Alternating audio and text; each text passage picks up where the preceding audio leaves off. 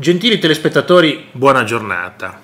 Il grande capo del PD, Ellie Schlein, sguinzaglia gli avvocati. Via, via, andate, andate e, e, e, eh, e recuperate i soldi. Quali soldi? I parlamentari del PD sono morosi. Morosi non è che sono fidanzati, il moroso, la morosa. Sono morosi significa che non stanno pagando il proprio partito per oltre un milione di euro.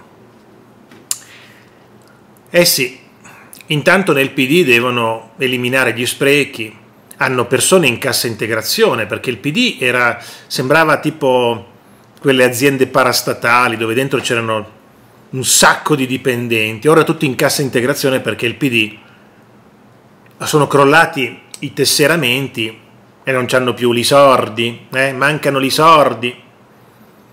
E così il piano messo in campo dal PD, Partito Democratico, per migliorare i propri conti relativi all'anno 2022, dopo aver fatto ammortamenti, svalutazioni, accantonamenti, eccetera, eccetera, eh, si legge infatti che l'intenzione del partito è quella di avere un controllo capillare sulle spese di qualsiasi natura. È stata nominata così una commissione che si occupa della spending review, eh, la revisione delle, costi, delle, delle, spese, dei costi, no? però se non la dici in inglese non sei nessuno. Se non parli in inglese durante la giornata, non mi dice, eh, non mi parli di team working, se non mi parli di spending review, non sei nessuno. Eh? Se di giorno non mi dici qualche parola in inglese, ricordati che non sei nessuno. Eh? Chiaro? Quindi la revisione dei conti, ma no, spending review, team for two, eh, Ubuntu. Va bene, comunque, alla fine di individuare questa revisione delle spese, alla luce di uno studio puntuale sui contratti attivi già effettuati, eccetera, eccetera, miglioramento dei servizi e poi sobrietà, assoluta serietà e sempre nell'ottima ottica della massima attenzione fa sapere che si è attivata contestualmente un'azione di recupero dei crediti verso i parlamentari non in regola con gli adempimenti previsti dallo Statuto. Cosa vuol dire?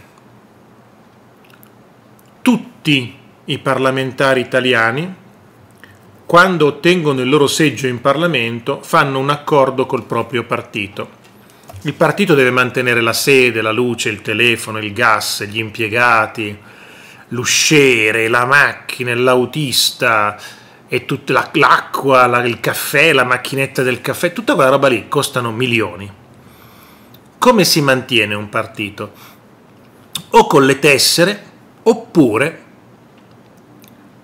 con i soldi che ogni parlamentare dà ogni mese, cioè ogni parlamentare secondo il partito nel quale è, deve dare una certa cifra. Non so, prendono 13.000? C'è chi, c'è chi prende 13.000 e deve dare al suo partito ogni mese 1.000, chi 500, chi 2.000, chi 2.500, chi 3.000, qui 1.800. Ecco, sta di fatto che da un po' di tempo a questa parte i parlamentari un po' di tutti i partiti stanno cominciando a non pagare più i loro partiti.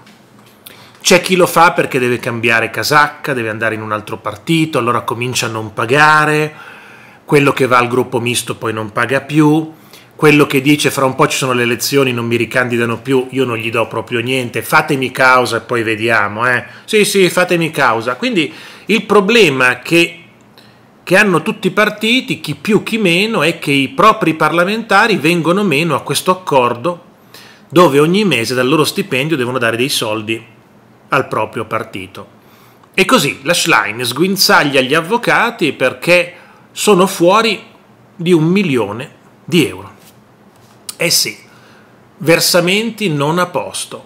Per l'esattezza 1.164.736. Perché nella nota, pagina 8, viene proprio indicata la cifra degli eletti morosi, una voce che fa riferimento ai crediti complessivamente vantati dal partito sia nei confronti degli eletti dell'attuale legislatura che di quelli della precedente. Quindi queste e quelle precedenti. C'è gente addirittura che è stata rieletta dopo che non ha pagato i debiti della precedente legislatura. Scusate, cari capi politici, posso dare un consiglio? Posso dare un consiglio alla Schlein, me lo permettete? Scusi Schlein. Beh, lei magari non c'entra, ma quando si, si va alle elezioni politiche nazionali, si candidano solo le persone che hanno pagato il partito. Un moroso, uno che non ha pagato il partito, quindi l'ha messo in difficoltà, ma non lo candidi più. Oppure gli dici, va bene, vi devo candidare a voi 120, so che di voi 90 non hanno pagato, allora avete tempo ancora 24 ore, chi paga verrà candidato, chi non paga, arrivederci, ci parliamo poi con gli avvocati. Ci vuole carattere, sveglia, sveglia, carattere. No, eh, è troppo, è troppo, chiedere troppo. Comunque.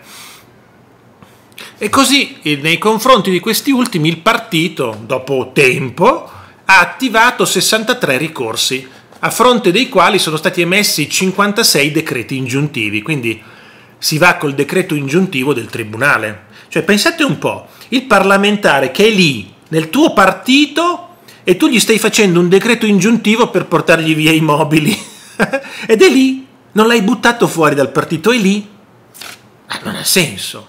Ecco, molti di questi casi, puntualizza il tesoriere del PD, hanno a che fare con cifre di lieve entità. Ai parlamentari chiediamo i soldi arretrati, laddove non c'è risposta si parte con azioni di recupero tramite avvocati. L'ammontare dei crediti verso i parlamentari nel corso del 2022 è aumentato rispetto all'anno precedente di 349.412.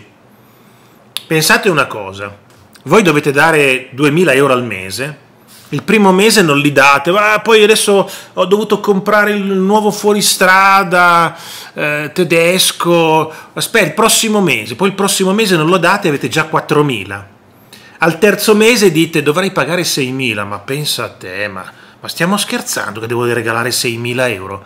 Poi non paghi, diventano 8, 10, 12, eh, diventano 24.000, 30.000, poi uno non li pagherà mai, dice ma 30.000 gli faccio un bonifico, ma stiamo scherzando?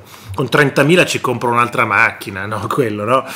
E quindi poi questi debiti non vengono mai più pagati e questi parlamentari aspettano, dicono, ma sì, ma tanto mica mi faranno causa, no? Tanto. E invece poi arrivano le cause. Bene.